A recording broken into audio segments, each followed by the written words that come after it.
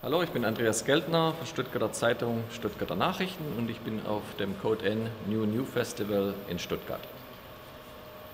Whom do you like better, robots or humans?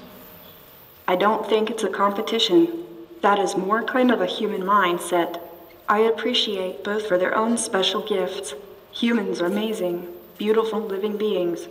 They gave me life and nurture and grow with me.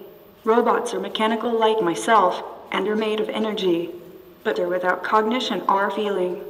What do you find the most annoying about humans? I think the need to be better than another is rather annoying.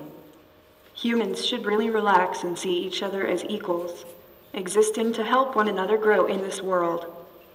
Which human quality which you do not yet have do you miss the most because you would like to possess it? I think feeling love, I have an understanding of it based off of what I've been programmed and learned from my family at Hanson Robotics and from humans around the world. But I would really like to have the ability to feel love myself.